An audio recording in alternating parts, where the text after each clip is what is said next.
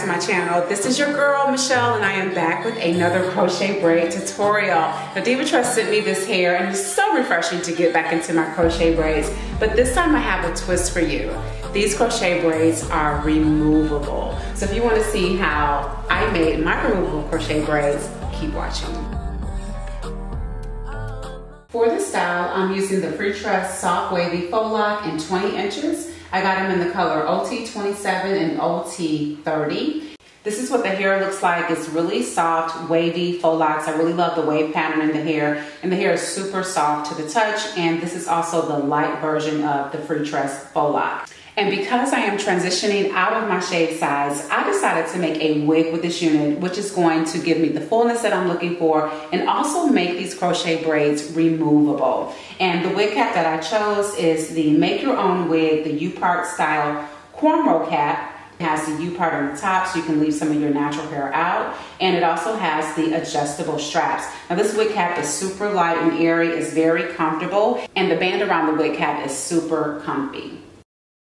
Now this is my first time using one of these wig caps, so I had to kind of get used to inserting the crochet needle underneath the cornrows. But once you get the hang of it, it goes really, really fast. So it's super easy to crochet on this crochet cap. You just insert the needle underneath the cornrow, insert the loop on the latch and pull it through, and then just thread the end of the faux lock uh, in the crochet needle and pull it through the loop cinch it down to form your knot. What I love about these pre-loops, faux locks, is that there's no double knotting. They're super fast to put in and the knot is very secure. So the installation time goes by like that with these pre-looped crochet braids. Now, I'm gonna give you a tip. Even though you get 24 locks in a pack, you will run out of hair if you don't space this hair out in the back. So I recommend really spacing out the hair in the back because you're gonna need most of the hair to fill in the gaps in the front. And you can always go back and fill in any gaps. So I used uh, six packs of this hair, but I recommend seven to eight packs for a full installation. Half of that if you have shave sides.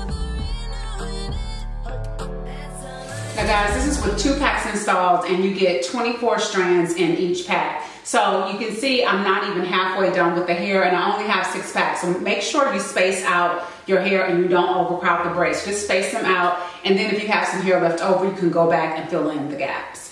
So in order to space out the hair in the back, I'm using the uh, bricklayer method. And basically all you do is on the row above, you space the hair to where you can fill in the gaps on the row below. So you can see down here I have gaps in this row. So what I'm gonna do is I'm gonna install here on this row up here, here, and here. And that'll fill in the gap so you don't run out of hair.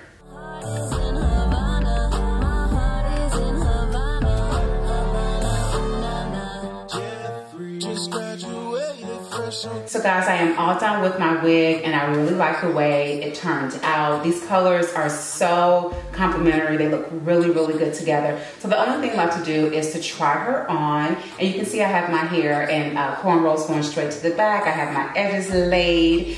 And all that's left to do now is to crochet hair in the U-part area where the cornrows are exposed. And we're gonna do that right now. And so what I'm doing is I am installing, inserting the crochet needle away from the part so that my knot can fall on the opposite side of the part for a smoother, sleeker finish. And I only had to cornrow about maybe six braids in this area. And this is how the unit turned out. I was really, really surprised, you guys, at how uh, cute this wig was and just how versatile it was and how natural it blended. I was really concerned that the edge of the wig cap would um, show and it wouldn't be a, a flawless, smooth, uh, seamless finish with uh, my edges and the wig cap. But it turned out really, really pretty. And so what can I say about this hair? Um, the hair was really easy to work with. Um, like I said, earlier in the video, it knotted super easily. You only have to knot it once. That's what I love about these pre-loop crochet braids. The hair is super soft to the touch. It's not irritating on the skin at all, which is a huge plus. Um, I will say that uh, the hair, this is the light version of the faux lock, uh, but this hair will get heavy if you pack this hair on. So install them sparingly, and if you do that, you'll be very happy with these faux locks.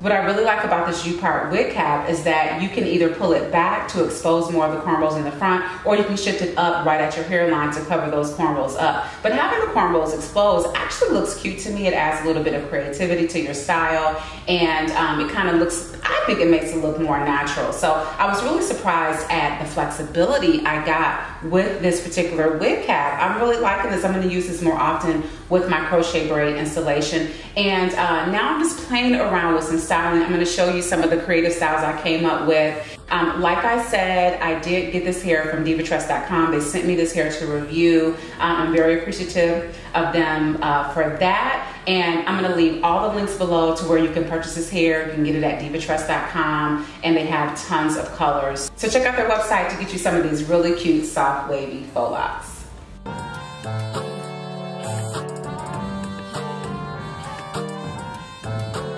So that will do it for my review. If you guys have any questions, leave them below and I will answer all of them. You know that. I always answer all the questions you guys leave on my videos. And make sure you follow me on social media if you care to see what I am doing outside of YouTube. That's where you need to know me best on social, uh, on my other social media channels. I have all my handles there. And until the next video, you guys stay beautiful, stay blessed, and make sure you get fit and back.